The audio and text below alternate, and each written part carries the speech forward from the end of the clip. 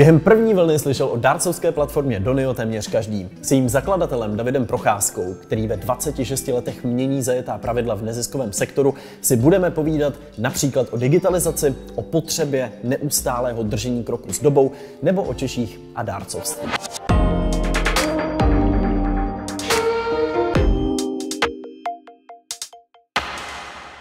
Vážení diváci, vítejte u nového videa, konkrétně rozhovoru, který vzniká ve spolupráci s Groovy v Google.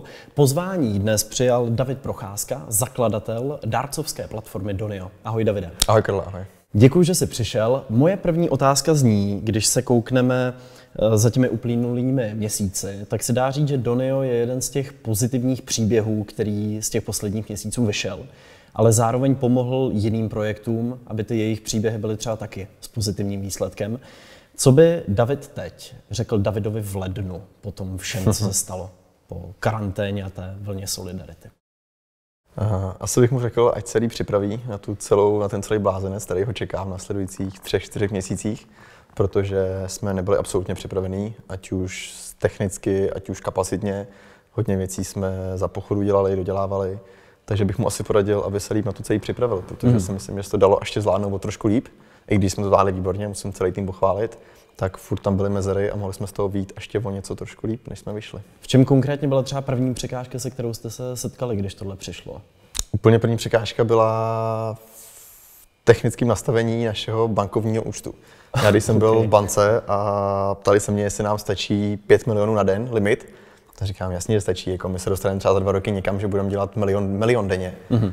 A najednou prostě někdy 27. března přestali přijímat, eh, platební brána přestala přijímat příspěvky protože jsme dosáhli 5 milionového limitu na účtu. Takže situace, kdy máte rozjetou jako spoustu projektů, eh, příspěvky tečou mm-hmm. a najednou to nejde. To byl ten největší vlastně, když byla Corovent, eh, sbírka na plecní ventilátory, mm-hmm. tak jsme během jednoho dne vybrali 14 milionů korun. Uf. A ještě bylo štěstí, že hodně z toho chodilo převodem, že vlastně z toho skrylo, protože tohle těch 5 milionů bylo jenom na platební bránu. Jasně. Ale i tak vlastně ono to naštěstí seklo až někdy ve 4 na 12 a ve 12 se to po půlnoci to restartovalo. Ideál. Takže okay. díky bohu, ale jako bylo to dlouhých 3 čtvrtě hodiny. Baví představa toho hovoru hovoru z banky, prosím vás, eh, máme tu moc peněz, ne? je to hrozně peněz, sem chodíme, vůbec nevíme, co s tím My to nemůžeme přijímat už. ano, ano, prosím vás, přestaňte to jako bylo, no. uh, ohledně pandemie se hodně skloňuje ta adaptace, tak jak to mhm. ve výsledku bylo v tom samotném Doniu? Zvětšovali jste tým, nebo jak jste to přizpůsobili konkrétně? My jsme vlastně na začátku toho celého měli takový dva, dvě plány. První hmm. byl to, že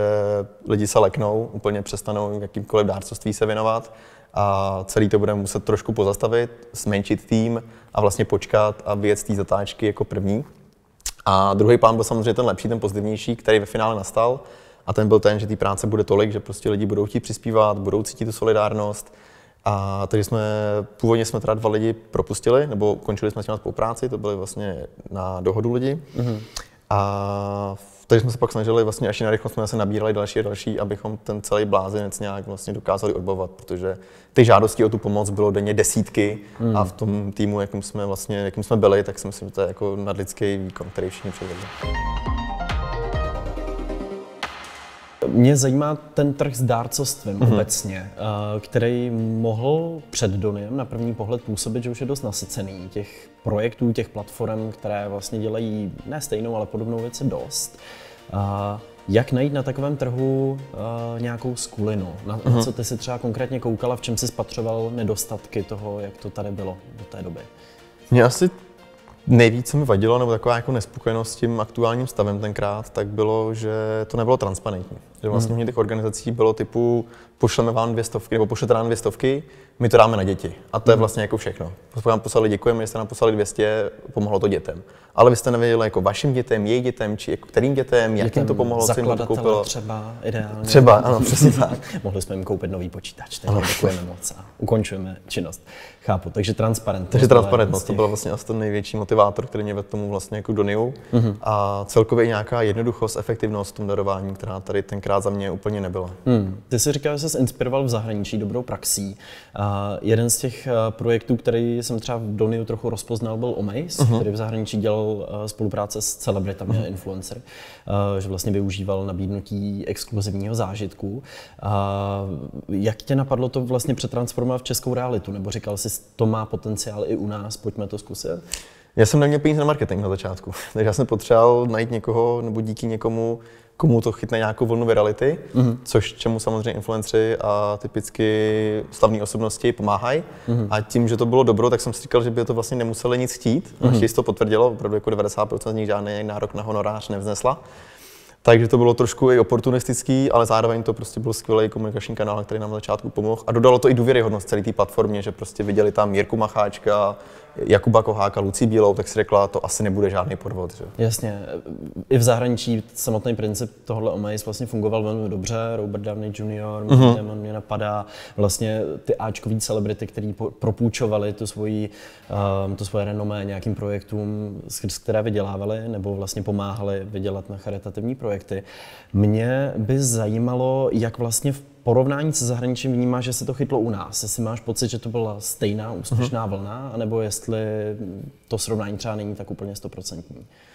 Eh, samozřejmě prodáváme úplně dva jako neporovnatelné trhy, že ten trh v hmm. Americe je úplně jiný, ať z hlediska těch celebrit, protože při vší úctě potkat Jakuba Koháka na ulici, tak se nezachováte stejně, jako když potkáte Roberta Downeyho. Jasně, ale... možná někteří. Možná někteří, ano. Jako, má Davida jako eh, Jakuba Koháka. Skalní fanoušky. Ne, nikdy. rozumím, rozumím. Ale, ale myslím si, že to úspěch mělo samozřejmě, jako pomohlo nám to na začátku, vystřelilo nás to, byla taková ta první vlna ještě před tou vlastně jako pandemí, mm-hmm. takže si myslím, že to, hodnotím to určitě úspěšně, tu spolupráci s těmi jako osobnostmi osobnostma. Byla to ta první věc, která se na Donio objevila, ten první způsob, nebo vy jste začali trochu jinak? Bylo to úplně ta první věc. Vlastně jo. úplně první sbírka byla právě spojení s Jakubem Kohákem, kdy jsme pomáhali uh, nevědomé paní zachránit jejího vodícího pejska. Uh-huh, uh-huh. A potom se to vlastně rozšiřovalo na to, co jsme mohli vidět třeba během pandemie, uh-huh. kdy vlastně tam je konkrétní jeden projekt, na který se vybírá do nějaké cílové částky. Um, Zajímá mě, když vy vlastně máte stanovenou nějakou tu hranici, ke které se jako snažíte přiblížit nebo dostat, uh, ty příspěvky jsou různě libovolné, vy na rozdíl od ostatních platform si z toho neberete uh, provizi.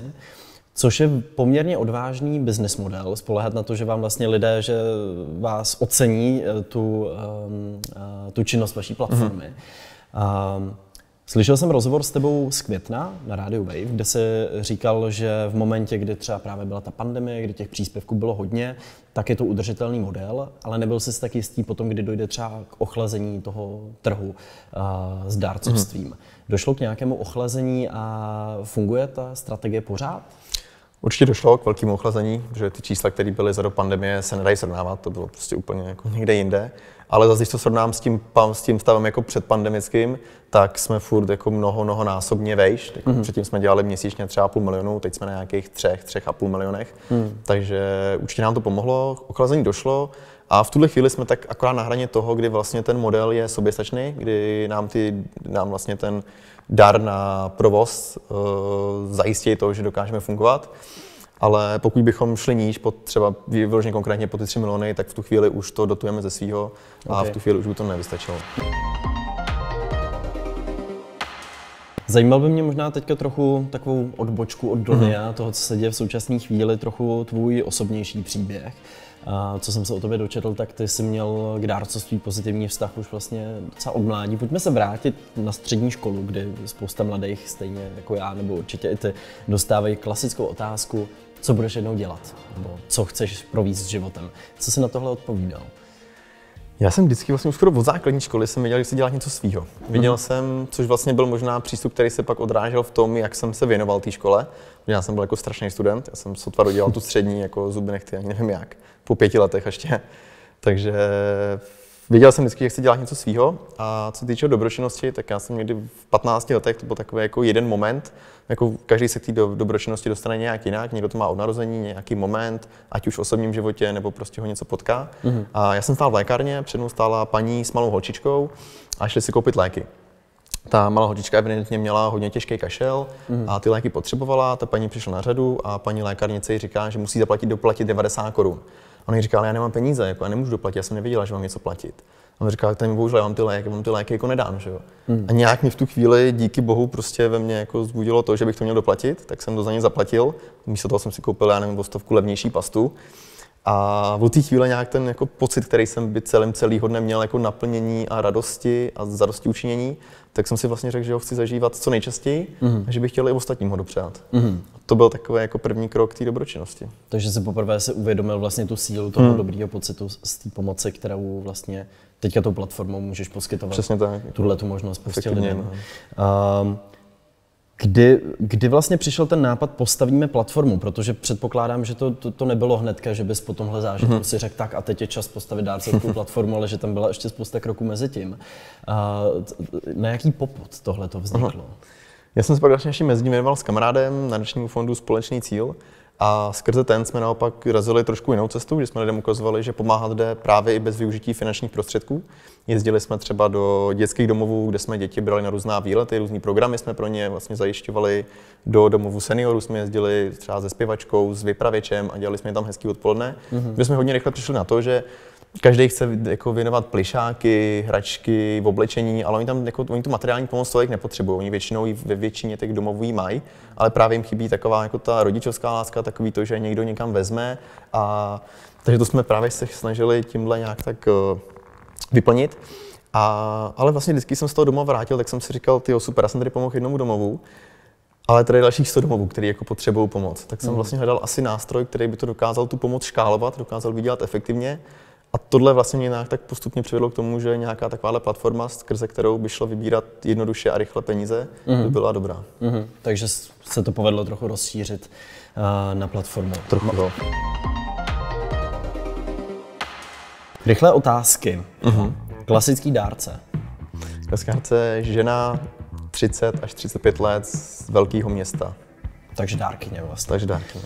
Raději zkusit něco nového a zklamat se, nebo se držet svého? Určitě zkoušet nové věci a spíš se zklamat. Nejúspěšnější projekt? Na Dunio? Mm-hmm. Z plicní ventilátory. Sbírka, která s tebou za poslední dobu nejvíc zarezonovala? Asi, asi to byla sbírka pro malou Sabinku, která hmm. vlastně byla onkologicky nemocná a chvilku bylo jí 13 let. Já jsem ji navštívil v nemocnici a ona zhruba dva dny před vlastně zahájením té sbírky zemřela. Tak to vlastně se mnou hodně zarezonovalo. Rozumím. Jít za hranice nebo se držet na našem písečku? Jít za hranice. Jít za hranice. Máte nějaký plány na uh-huh. expanzi v tuhle chvíli? My určitě ve chvíli, kdy se ustálíme v Česku a budeme vidět, že prostě ten produkt tady je nikdy nebude hotový, ale kdy prostě už je nějak blízko tomu, co chceme, a budeme vidět, že tady jsme vlastně jednička v Česku, tak bychom chtěli minimálně zkusit se Slovensko, to je takový jako nejlogičtější a nejbližší krok, tam není žádná skoro vstupní bariéra, hmm. kromě nějakých legislativních podmínek. Hmm. A pak se mi spíše na východ, Rumunsko, Maďarsko a je to čistě z biznesových okolností, protože tam ten trh je za prvý dost podobný Česku a ta konkurence tam není tak velká jako třeba v německých zemích. Před několika měsíci jste taky dostali investici, což je zajímavý moment, předpokládám, v životě člověka, který buduje nějakou platformu, produkt nebo, nebo službu. Když se ohlídneš za tím třeba i hledáním investora nebo někoho, kdo by do toho projektu vstoupil, jak moc je to složitý pro, pro mladého podnikatele se v tomhle, v tomhle vyznat? Na co si tam dát pozor a na co se soustředit? Složitý to je, protože paradoxně těch lidí je teď strašně moc, těch peněz na trhu je opravdu nepřeberné množství a pokud máte ne úplně nějaký mimo projekt a pokud dokážete s těma investorama komunikovat rozumně, tak ta šance, že ten investici, tu investici dostanete, není úplně malá. Hmm. A dát si určitě pozor, na koho, od koho tu investici berete. A, ale je to zajímavé samozřejmě v tom, protože Většina těch investorů na to kouká tak, že prostě vám dá investici a co nejdřív se zpátky, v co nejkratším horizontu. A já jsem měl teda obrovský štěstí, že jsem narazil na skupinu Myton, která má za sebou desítky online projektů, těch neúspěšnějších za poslední dobu, dáme jídlo, rohlík, glamy, heureka hmm. a podobně. A oni na to koukají prostě trošku jinak, nekoukají na to čistě biznisově, nejde jen o to, aby za tři roky měli tu investici zpátky, pak jim to jenom vydělávalo, ale hodně se jim na tom líbí ten společenský dopad, ten společenský přesah a koukají na ty věci trošku jinak. Takže hmm. hodně, bych se, hodně bych se zamýšlel nad tím, od koho si ty peníze budu chtít vzít a pak samozřejmě oslovit, je to asi být ve správnou chvíli na správném místě, no, že zrovna ten investor hledá něco třeba v tom oboru a zaujme ho to, s čím vy vlastně za ním přijdete. Jasně. A pak ho, většinou ty, že ty investoři většinou investují do lidí. Oni tak neinvestují do projektu, ale investují do lidí, kterým věří a v kterých vidějí vlastně ten drive a vidějí v nich tu vizi. Mm-hmm. Přináší, předpokládám, nejen finanční prostředky na další rozvoj toho projektu nebo služby, ale taky nějaký know-how. Když se ohlídneš za těma posledních pár měsíce, vidíš nějaký velký posun nebo něco, co to přineslo nějakou novou energii do toho samotného projektu? Určitě jo, tam, jak jsi říkal, to know-how je prostě strašně to jak na zaplacení. To je to, co hmm. oni mají z těch desítek projektů, tak přesně vědí, jak se ta věc bude chovat, když se na něco zeptáš, tak hmm. nemusíš ztrácet měsíc tím, že to budeš testovat, ale oni už ti jako hned řeknou, ale to se stane tohle, když to uděláš. Hmm. Takže to know-how prostě je fakt klíčový a je to jedno z hlavních důvodů, proč vlastně Donio je prozatímně braný jako úspěšný projekt, nebo proč je úspěšný protože oni s námi opravdu na denní, denní bázi s námi ty věci glosují, vlastně komentují nám to, pak máme nějaký měsíční vlastně jako jedna jedna meetingy, kde si prezentujeme výsledky, nastínujeme si další kroky, celkovou tu vizi. A, takže je to, je to hrozně, jako hrozně přínosný, když tam, tam máš někoho takového. Co mě zaujalo, protože ve světě sociálních sítí a YouTube a influencerů se o tom často mluví, je to princip storytellingu, vyprávění mm-hmm. příběhů. A to je jeden z principů, na kterém vy to Dony hodně stavíte. Mně se to moc líbí, že vy vlastně nekončíte jenom u toho příspěvku, ale s tím dárcem dál komunikujete a mm-hmm. snažíte se mu zprostředkovat, co ten jeho příspěvek změnil. Kde, kde se vzal inspirace k tomuhle tomu? Nebo dělal to někdo už v českém prostředí? Moc nedělal, vlastně poměrně dobře s tím pracuje dobrý anděl, který mm-hmm. třeba se mi hrozně líbí, jak dělá sociální sítě nebo celkově tu komunikaci, kteří vlastně dlouhodobě drží tu linku, ale tam je to typologicky jasný, že vy přispíváte dlouhodobě na nějakou třeba tu rodinu. Ale mně to právě tohle trošku chybělo, takový to, že jsem někam poslal peníze, měl jsem ten jednorázový dobrý pocit a tím to vlastně u mě skončilo. Takže jsem si k té značce ani nedokázal vybudovat nějaký vztah, který by mě vlastně pak přiměl jim přispět znovu. Hmm. Takže když jsem si řekl, aby toho vlastně jako toho uživatele jsme drželi u sebe, aby on chtěl přes nás přispívat, tak tohle je skvělá přená hodnota, když vlastně tím příběhem provedeš od A až do Z a za další dva měsíce mu připomeneš, že tady těch tvých jako 500 korun pomohlo Honzíkovi, že teď může chodit, díky hmm. tobě dělat takovéhle pokroky. Hmm. Tak je to přesně ten důvod, proč on se pak tobě ten uživatel vrátí a přispěje znovu tebe. Zároveň teďka pracujete na, nechci říct úplně novém projektu, je to spíš součást toho, co děláte, ale lehce jako odštěpená varianta. Jmenuje se to Donio Plus. Uh, to trochu jako ze světa iPhoneu, že? Jako Donio Plus Max, Donio 12, Donio 11. Uh, v, čem je to, v čem je to jiný od Aha. současného Donia? Je to jiný v tom, že vlastně z začátku ta vize byla taková, nabídněme lidem, kteří jsou v těžké životní situaci, nástroj, aby si mohli jednoduše a efektivně vybrat peníze. Mm. Ale vlastně zjistili jsme, že ty peníze by si třeba kolikrát chtěli vybrat i lidi, kteří nejsou jenom za každou cenu v těžké životní situaci, takže ta vize je teď taková, nebo ta mise je taková, nabídnout lidem, kteří jsou v jakýkoliv životní situaci a chtějí peníze, nástroj, přes který se to můžou jednoduše a efektivně vybrat. Mm. A Donio Dobro je vlastně typologicky pro projekty, kteří jsou, kteří jsou víc třeba i jako komerčně zaměřený, třeba lidi, kteří mají nějaký zajímavý nápad na nějaký startup a chtějí na to vybrat finance, nechtějí třeba si půjčovat bance nebo nechtějí za investorem, mm. tak si můžou pomocí crowdfundingu, pokud tomu mají zajímavé odměny, protože to je vlastně jako odměnový crowdfunding, tak si můžou přes nás na to vybrat peníze.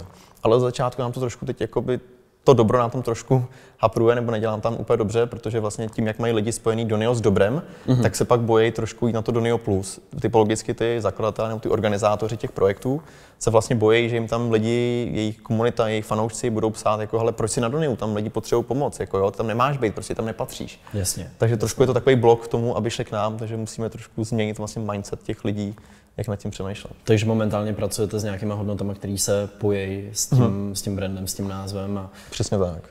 Držím palce. Díky. Eh, ne, nezní to jako úplně lehká výzva po, není, není. po tom, co se, tu, co se tu dělo. Eh, zajímalo by mě taky, protože se mluví často o českém prostředí, eh, trochu generalizačně, ale dejme tomu.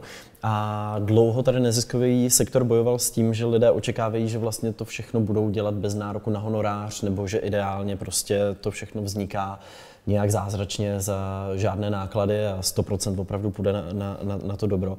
Daří se už lidem u nás vysvětlovat, že přece jenom je potřeba podporovat i ty lidi, kteří to dobro umožňují? Mm. Máš ten pocit? Tohle to řekl jako obrovský nešvar českého prostředí, že lidi si myslí, že lidi, co dělají neziskový, to měli dělat zadarmo. A to, že mají ty lidi jako úplně minimální platy, ani ne skoro průměrný, tak uh, prostě nikoho nezajímá. Prostě děláš nezisk, tak ho dělej zadarmo, jako proč za to máš brát peníze. Hmm. Ale to si myslím, že je strašná škoda. Naopak to může pak vést tomu, že vlastně kvalitní lidi, kteří by ten celý sektor mohli posouvat mnohem rychleji dopředu, tak do toho sektoru nejdou, protože každý samozřejmě má nějaký životní podmínky nebo nějaký životní potřeby, které potřebuje ukojit. Hmm. A pokud my nejsme schopni mu ty peníze nabídnout, tak samozřejmě on tam nepřijde. Takže si myslím, že to vlastně může být blokátor toho, že pak ty kvalitní lidi do toho sektoru nejdou. A jak byla to otázka dala, promiň, mi to? No, mě to zajímá teda, abych to posunul trochu dál, i protože je to hodně spojený s tím, že vy ty lidi žádáte o to, aby tu vaši Aha, platformu nějak ocenili za, za to zprostředkování. A to vlastně hodně stojí na tomhle eh, dojmu, proč já bych jim něco platil, když oni vlastně to dobro dělají. Hmm, že jo? Hmm. Takže uh, je to trochu podmíněný eh, tím, aby vůbec ten váš business model, když to takhle řeknu, fungoval. Tak jestli se to daří. Daří to, daří to. Musím říct, že vlastně ten psychologický je v toho, že ty těm lidem dáš možnost, dáš jim vlastně svobodnou volbu rozhodnout se, co s těmi penězma můžou chtějí udělat, mm-hmm. tak je mnohem lepší, než jim řekneš, ale já si prostě z toho strhnu 5-10%, neptám se vás, nedávám na výběr, tak tohle je vlastně lepší a vidíme, že poměrně ty uživatelé v hojné míře, dá se říct skoro každý druhý uživatel, nám nějaký díško zanechá. Hmm. Takže celkově si myslím, že vlastně vybereme, jsme schopni vybrat ještě víc, než bychom si dali fakt nějaký jako fíčko, že prostě 5% z každé transakce si necháváme. Hmm. Ale samozřejmě na druhou stranu je to risk, protože my platíme i bankovní poplatky, jako platíme i poplatky za převodem banku, banku, převod za platbu kartou a podobně. Takže ve chvíli, kdyby ty lidi to nedávali, tak samozřejmě jsme jako těžce v mínusu. Chápu. Spousta poplatků, známe všichni Moc poplatků. v čem se liší český přispěvatel od těch zahraničních? Je tam fakt nějaká jako dramatická odlišnost, mm-hmm. když si zkoumal to zahraniční prostředí? Já si myslím, že to je celkově asi nějak to prochází jako celou českou kulturou, protože třeba typicky v anglosaských zemích, tak tam prostě lidi, když jdou na pohovor, tak v CV mají napsaný, jakou charitu podporují. Mm-hmm. Mají tam prostě napsaný, já podporuji tuhle charitu, protože dělají tohle, tohle, tohle. A ty zaměstnavatelé na to třeba fakt i koukají. Mm. Což tady v Česku je jako nepředstavitelný. Já si myslím, že ta kultura toho dárcovství, hlavně toho dlouhodobého, mm. který tady v Česku prostě kulturu vlastně nemá, ať už kvůli nějakým historickým důvodům, tak je tady obrovská rezerva v tom. Jako Češi jsou super v tom, že když se něco stane, tak se všichni jako spojí a jednorázově pomůžou. Jako mm udělají obrovské částky, vy třeba jako byla sbírka na Maxíka, kde se bralo nějakých 50 milionů. Jasně, jasně. To bylo prostě během pár dní. Jo. Ale prostě to, že bych si nastavil každý měsíc ze svého platu 200 korun a odesílal ho trvale na jednu věc, tak eh, tady vlastně ještě nemá tak velkou historii. Takže takový charitativní Netflix by to vlastně chtěl. Dá se říct, takový jako subscription na dobro. Subscription no dobro, to zní docela dobře. Uh, potom taky offline a online, to se, hmm. to se řeší hodně v poslední době, vy teda uh, reprezentujete hodně ten, tu online složku, zároveň ty klasické nadace říkají, ale pro nás je i ta, ten offline způsob vybírání peněz důležitý. Jaký je tvůj pohled na tohle? Dochází fakt jako k úplnému posunu do onlineu, nebo hmm. tady ten, to, ty kasičky v ulicích s náma budou dál, nebo jak to vidíš do budoucna? Dá Já si myslím, že celkově ten trh celý nejen to dárcovství, ale prostě to online spě a teď se to urychlilo jako tři, třínásobně tou celou pandemí a když prostě lidi viděli, že offline jenom se úplně vypnul, hmm. tak ta nutnost být online byla mnohem větší. Já mám třeba kamaráda, který má vlastně firmu na e-shopy a ty požadavky vlastně na něj říkal, že měli prostě takových, takových jako objednávek, že prostě lidi všichni chtěli rychle ty e-shopy, hmm. aby to z toho offlineu všechno přihodili to onlineu.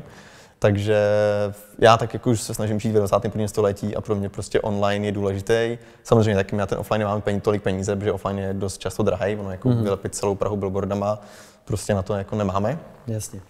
takže, takže za mě to určitě ta cesta online Hmm. Ptám se na to i proto, jelikož uh, dochází k určitý samozřejmě generační změně neustále, přichází nové technologie a zajímá mě, jak to prostředí na tuto změnu hmm. reaguje. Jestli ty reakce jsou opravdu pozitivní, ty, ty nadace se chtějí přizpůsobit, nebo je to naopak trochu jako takový stažení se do sebe řečení takového toho klasického, my už to takhle děláme 20 let a funguje nám to, tak to budeme dělat dál. Jaký máš z toho pocit? Nechtěj. Nechtěj. Nechce se jim. Nechce se jim prostě přesně ty lidi, typologi, kteří už to dělají dlou, delší dobu, tak věří v to, že to, jak to dělají oni, je jediná správná cesta, že nějaký tady internety, že tomu jako, že to prostě nemůže fungovat, že tomu nevěří hmm. a nechtějí prostě o to online mít, no, nevěří tomu a furt si drží toho, že prostě to, že půjdu s pokladničkou na Václavák je vlastně lepší, než to, když udělám jasně transparentní sbírku na internetu, kde si každý může přečíst celý příběh, kde to hmm. každý vidí na jedné stránce, může jednoduše přispět tak nechce se jim do toho. No. Prostě mm. nechce se jim do toho, ale přesně ta mladá generace, já si myslím, že mladou generaci dneska venku už tolik nechytneš.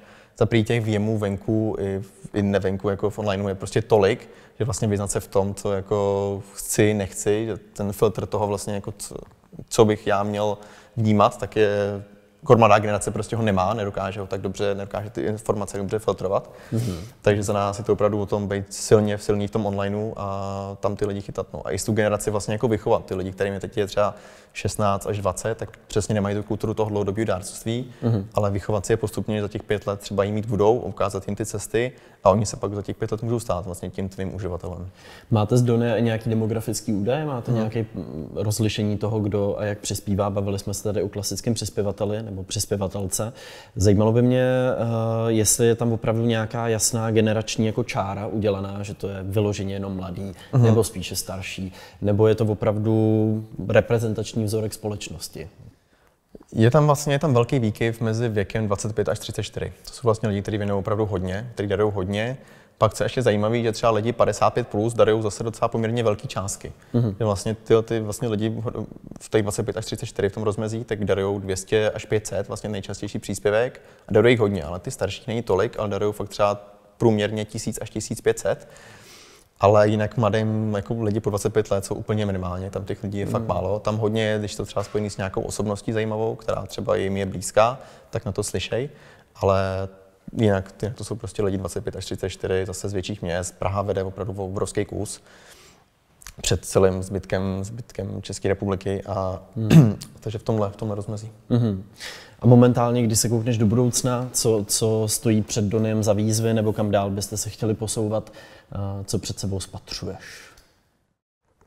Asi jak jsme se bavili s tím pluskem, hmm. vlastně myslím si, že je důležité udělat z Donio platformu, přes kterou si můžeš vybrat na cokoliv chceš, nejenom na to dobro, ale jakýkoliv příběh, jakýkoliv nápad máš, tak si můžeš přes Donio jednoduše na to vybrat peníze. Vždycky ti předáme 100%, nikdy z toho nemusíš nic odvádět, což si myslím, že je jako silná, vlastně silný USP.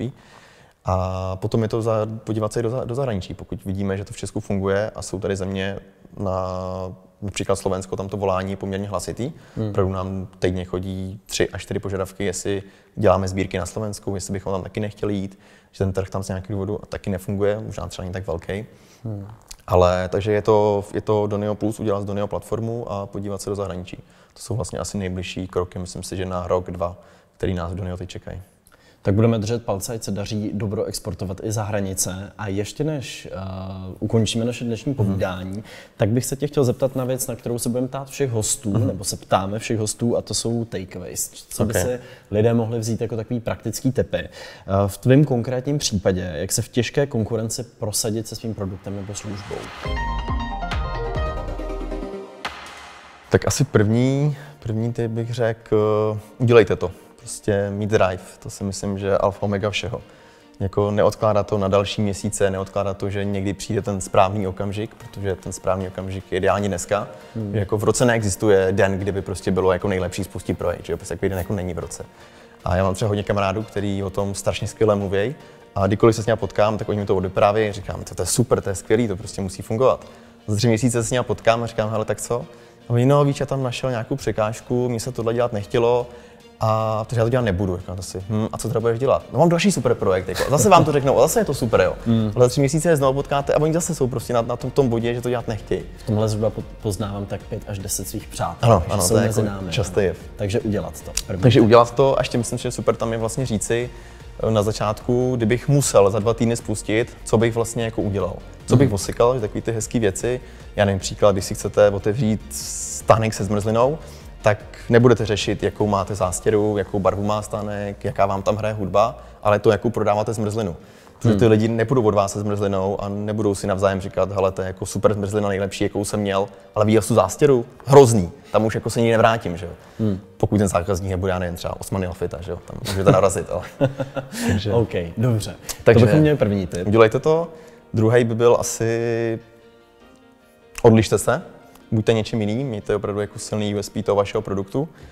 Myslím si, že inspirovat se u konkurence vlastně vůbec není špatně, ale nemělo by se to jedna ku jedný, protože ve chvíli, kdy to uděláte jedna ku jedný, tak co je ta vaše přidaná hodnota, co je hmm. vlastně to, co těm zákazníkům nabízíte, aby oni od toho, koho už znají, s kým už mají zkušenost, šli k vám.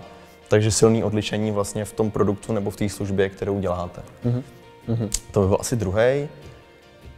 Pak asi další bych řekl, vybudujte silný tým. Myslím si, že to je strašně o lidech. Každý jako lidi, tým toho projektu je alfa omega každého projektu. A čím dřív ty lidi skvělý máte, tak tím, tím, je, tím to vlastně pro vás lepší, tím víc vás, tím méně vás to bude bolet. Já kdybych vlastně v Doniu neměl ty skvělé lidi, jaký tam mám, tak tady dneska nesedím, tak Donio není mě považováno za úspěšný projekt. Hmm. Je to vlastně díky nim prostě. A já třeba v tomhle mám takovou, jako, mám takový, zastávám takový model, jako metodu pokus omyl, že vlastně mi nevadí přijmout víc lidí, přijmout je rychle, ale na druhou stranu mi ani nevadí a vlastně s nimi jako rychle tu spolupráci ukončit. Že vy typologicky v tom startupu nebo v té nově začínající firmě potřebujete ty výsledky jako dost rychle. Hmm. Potřebujete se hýbat, nemáte úplně čas, abyste půl roku někoho vedl za ruku. A samozřejmě neříkám, že těm lidem nemáte dát jakoukoliv podporu, ukázat jim to, kdykoliv potřebují, tak prostě jim poradit to ano, ale dát jim měsíc na rozkoukání a druhý, třetí už prostě potřebujete výsledky a pokud nejsou, tak prostě bohužel. Mm-hmm. A ještě vlastně k nabírání lidí je super, si myslím, jedna věc, takhle jako v tomhle, v tomhle, v této fázi, když jste malý projekt, tak eh, nebát se zaměstnávat lidi po škole. Tam je totiž super jedna věc, že oni nemají žádný benchmark. Hmm. Vy, když jim řeknete, udělej 50 sbírek, tak on neví. Je to hodně, je to málo, prostě neví.